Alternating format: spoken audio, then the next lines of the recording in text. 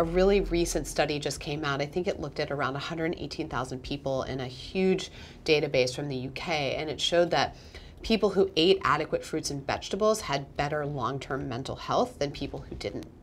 That's amazing. And it's something that I struggle with myself and what I see with a lot of people is that they do eat fruits and vegetables, but they're not eating enough mm-hmm. or a variety of them. So you have people are like, I love broccoli, I eat broccoli every day with my chicken, it's something, it's my routine, right? Yeah. And a lot of the education that we do with AG1 is consuming nutrient dense foods, but a large variety mm-hmm. of them.